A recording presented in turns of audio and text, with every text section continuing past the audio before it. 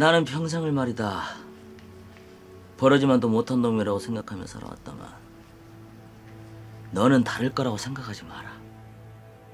소중한 이 소중한 것은 지켜줘야지. 무사로서의 임무는 하고 가야지. 남자로서 무사로서 다 쓸데없는 자존심이다. 차라리 그 순간 치사하고 비겁하게 살아. 백성은 말이다. 오로지 자기의 기쁨을 위해 자존심을 버려야 소중한 것을 지킬 수 있다. 그렇지 않으면 잃는다. 도대체 어째서 백성은 왜?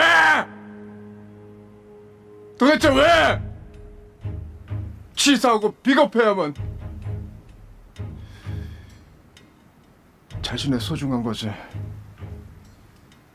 지킬 수 있단 말입니까? 그런 것도 모르면서 어찌 백성으로 살려고 하냐. 그래 좋다.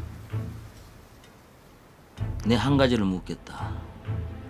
이 일을 하면서 너의 소중한 것을 잃어도 좋으냐? 그렇다면 내 도와주마.